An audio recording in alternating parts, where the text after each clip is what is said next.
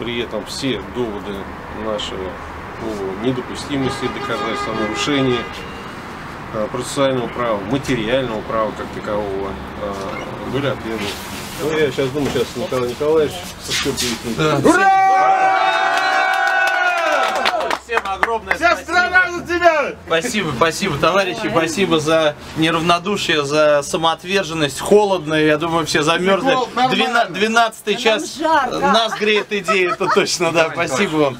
Спасибо, спасибо большое, спасибо, ребят. Собственно, э, судья, э, мы ожидали, что будет долго выносить решение, или как приговор, правильно, как это сказать. Вот. Однако все было очень быстро, буквально 4-5 минут, и в конце концов, да, в заключении она сказала, что будет назначен административный э, штраф, хотя, честно говоря, думаю, и, и власть, и вся страна думала, что и мы тоже были нацелены на то, что будет административный арест. Статья предполагает именно 15 суток э, заключения административного ареста. И задаваясь вопросом, почему этого не произошло, по-моему, очевидно, да, что тот общественный резонанс, который сегодня поднялся в стране с 12 часов дня, ну это, это топ-5 в Яндексе, все федеральные СМИ, блогеры, огромное количество людей по всем соцсетям, это действительно то, что сегодня заставляет власть дрожать.